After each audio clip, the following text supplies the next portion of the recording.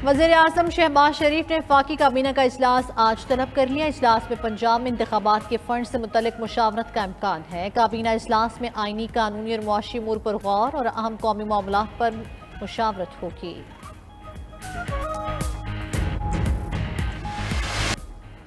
इमरान खान ने पुरअमन एहतजाज की कॉल दे दी। कहते हैं ईद के बाद पुरअमन एहतजाज करेंगे। चुप करके नहीं बैठेंगे। सारी कौम को सुप्रीम कोर्ट के साथ खड़ा होने की ज़रूरत है। मुल्क में आइन कानून मुकम्मल तौर पर मअतल होकर रह गया। जमान पाक में कारकुनान से खिताब करते हुए इमरान खान ने कहा, इन हरबों से सिर्फ़ मुल्क में नफरतों में इजाफा होगा। मेरे ऊपर कोई केस नहीं। तमाम केसेस बिला जवाब हैं। अब पार्टी में तकड़े लोगों को पकड़ने के प्लान पर अमल हो रहा है। हम इन चोरों को इस जुल्म के डर से कबूल नहीं करेंगे।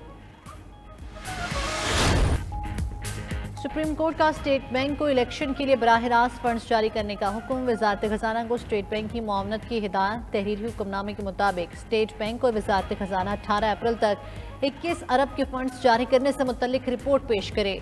इलेक्शन फंड्स जारी न होने पर सुप्रीम कोर्ट पर हम अदालती हुक्म पर अमल करना पड़ेगा। अदालत ने वाजे कर दिया कि चीफ जस्टिस उमरता बंदयाल की सरबराही में जस्टिस मुनीब अख्तर और जस्टिस एजाजुल एहसन पर मुश्तमिल तीन रुकनी बेंच ने इन चैम्बर समात की। वजारत खजाना के हुक्म, attorney general, secretary election commission और स्टेट बैंक हुक्म पेश हुए। दौरान समात का मकाम गवर्नर, स्टेट बैंक के हमरा आने वाले दीगर अफसरान को चैम्बर से बाहर भेज दिया गया। I put the motion has moved to the House. All those in favor of the motion may say aye. All those against it may say no. I think the ayes have it and consequently the motion is adopted. कौमी assembly में supreme Court के parliament के इख्तरात में मुदाखलत का खिलाफ करारदाद मंजूर Ivan मुतफ़ा तौर पर Supreme Court review of judgment order bill 2023 मंजूर कर लिया सुप्रीम कोर्ट के फैसलों के खिलाफ अपील 60 दिन में दायर की जा सकेगी। अपील के लिए मर्ज़ी के जज की खिदमत हासिल की जा सकेंगी। ईवान ने जबता फौजदारी और नैब तरमीमी बिल में भी मंजूर कर लिया। कौमी असम्बली का अजलास सत्रह अप्रैल की सपहर, तीन बजे तक मुलतवी।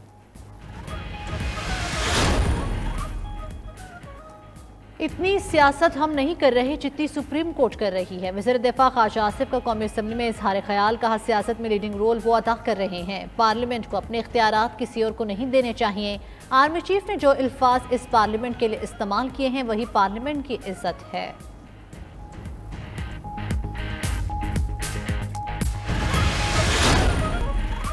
पाकिस्तान की मुआशी हालत बेहतरी की तरफ़ गामजद जर मुबादला के जखायर दस अरब डॉलर से तजावज़ कर गए। चीन से मजीद तीस करोड़ डॉलर पाकिस्तान को मौसू हो गए। मुतहदा अरब अमारात ने भी एक अरब डॉलर की फाइनेंसिंग की तस्दीक कर दी। एम एफ़ की एमडी क्रिसलिना जॉजीवा का कहना है कि पाकिस्तान अभी डिफ़ॉल्ट तक नहीं पहुँचा। पाकिस्तानी हुकाम के साथ मिलकर बड़ी मेहनत से काम कर रहे हैं। उम्मीद है पाकिस्तान अपना मौजूदा प्रोग्राम कामयाबी से मुकम्मल कर लेगा।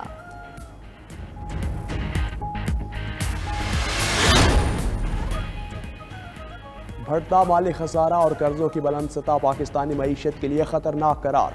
आलमी बैंक ने पाकिस्तान के विफाकी अखराज से मुतल जायजा रिपोर्ट पेश कर दी। रिपोर्ट के मुताबिक, पाकिस्तान गैर ज़रूरी अखराज सब्सिडीज़ ख़त्म करके सालाना दो हज़ार सात सौ तेईस अरब रुपए की बचत कर सकता है।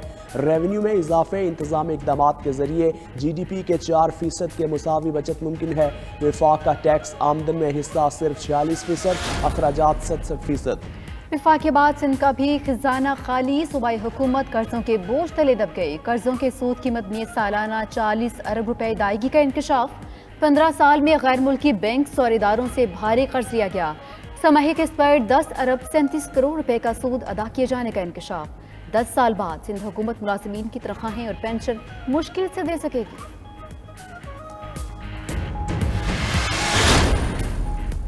नेप्रो ने के इलेक्ट्रिक के महाना फ्यूल चार्जेस एडजस्टमेंट में इजाफा कर दिया। फरवरी के लिए अठावन पैसे फ़ी यूनिट इजाफे की मंजूरी का नोटिफिकेशन जारी।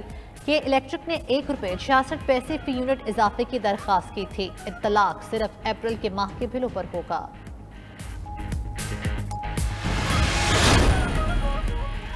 रमज़ान मुबारक में बारिशों का एक और सिलसिला शुरू होने को तैयार। आज से 20 अप्रैल तक चारों सूबों में शदीद बारिशें और यालाबारी नेशनल डिज़ास्टर मैनेजमेंट अथॉरिटी ने मुल्क के बेशतर हिस्सों में शदीद बारिशों का अलर्ट जारी कर दिया। आज से मुल्तान समेत जनूबी पंजाब में भी आंधी, बारिश और यालाबारी का इम्कान।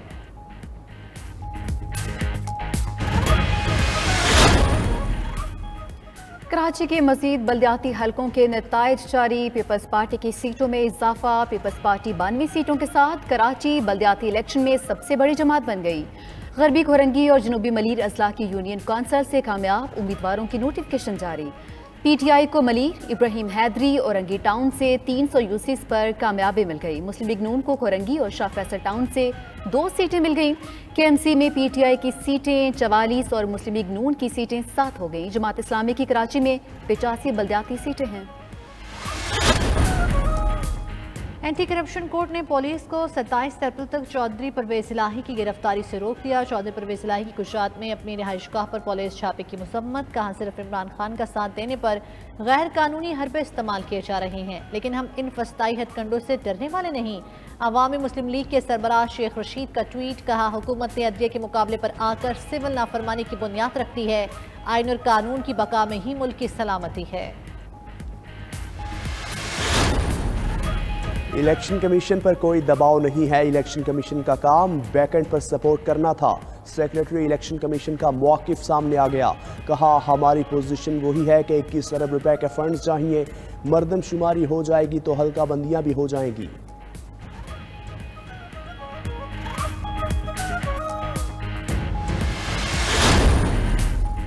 इमरान खान, असद उमर और फवाद चौधरी के खिलाफ तोहन इलेक्शन कमीशन के समाप्त के लिए मुकर इलेक्शन कमीशन का चार रुकनी बेंच 18 अप्रैल को समाप्त करेगा।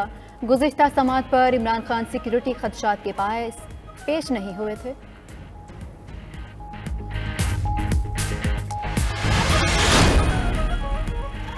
मुल्क में चाँद रात जुमेरात को होगी या जुमे को? रुएत हलाल कमेटी का अजलास बीस अप्रैल की शाम को होगा। चाँद नज़र आने का इम्कान इंतहाई कम। रुएत हलाल रिसर्च काउंसिल की रवा साल। पाकिस्तान में रमज़ान के पूरे तीस रोज़े होने की पेश गोई।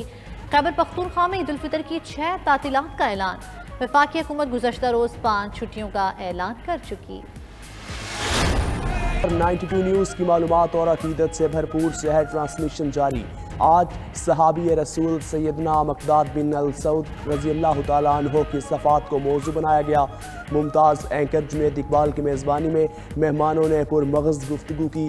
कारी मोहम्मद आमिर शकील ने तिलावत कलाम पाक की हासिल की। कवाल, शेर में अदाद खान और हम नवाओं ने खूबसूरत कलाम पेश किया। सिंध में बलदियाती इलेक्शन मुकम्मल कराने के लिए सिंध हुकूमत ने इलेक्शन कमीशन ऑफ़ पाकिस्तान को एक और ख़त लिख दिया है, जिसमें कहा गया है कि आइन के आर्टिकल 140 ए पर मुकम्मल अमल कराना इलेक्शन कमीशन की ज़िम्मेदारी है।